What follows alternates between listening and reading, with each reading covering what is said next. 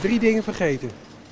Gisteren vergeten dus. Gisteren vergeten, ja. Ja. Ja, En dan is het fijn dat zo'n winkel vandaag open is. heerlijk jongens. Ja, super. Het vlees was niet goed meer. Dus ja, dan moet ik wel. Hè. Dat was hoofdbestanddeel van eh, het kerstdiner. Dus ik heb geen keus.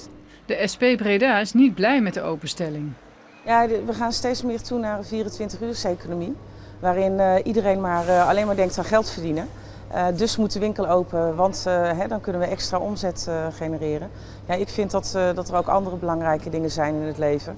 Zoals gewoon samen zijn met je vrienden en, en familie. En een kerstontbijt zit er voor de medewerkers van Jumbo dit jaar dus niet in. Toch hebben ze er vrijwillig voor gekozen om te werken, zegt Tom Verhaar van Jumbo. We hebben gewoon lijsten opgehangen met de vraag van wie wil er eerst en tweede kerstdag werken. En eh, naast dat er mensen zijn die zeg maar, zeggen van ik wil graag eerste of tweede kerstdag voor allebei de, de kerstdagen thuis zijn, zijn er ook mensen die het geweldig vinden om in deze ambiance juist te werken. Maar de SP denkt dat werknemers zich in deze moeilijke economische tijden gedwongen voelen. Hoe vrijwillig is het als je hier een jaarcontract hebt en je baas eh, dringt erop aan dat er eh, toch wel bezetting moet zijn op eerste kerstdag.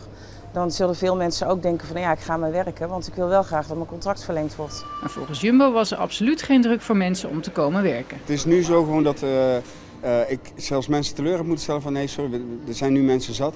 De klanten zijn vandaag vooral blij dat ze nog terecht kunnen. Omdat we geen tijd hebben gehad, dus doen we het nu. Heel makkelijk. Ik vind wel dat zo'n hele grote voor heel Breda en omgeving wel open mag zijn. En al die kleintjes in alle kleine dorpjes, die mogen dicht zijn. Dan hou je het een beetje close. Thank you.